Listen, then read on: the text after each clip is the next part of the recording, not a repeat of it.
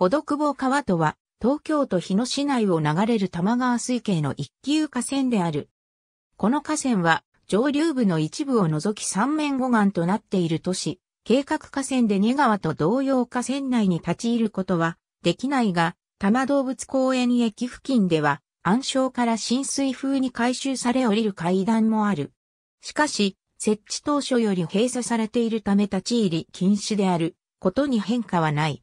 都道155号線のほどくぼ6丁目交差点の右側付近に起点があり、しばらく都道503号線のみと並走する。この辺りは川というよりも用水路規模の流量である。多摩動物公園駅付近になると、多摩都市モノレール線が右方向から合流してくる。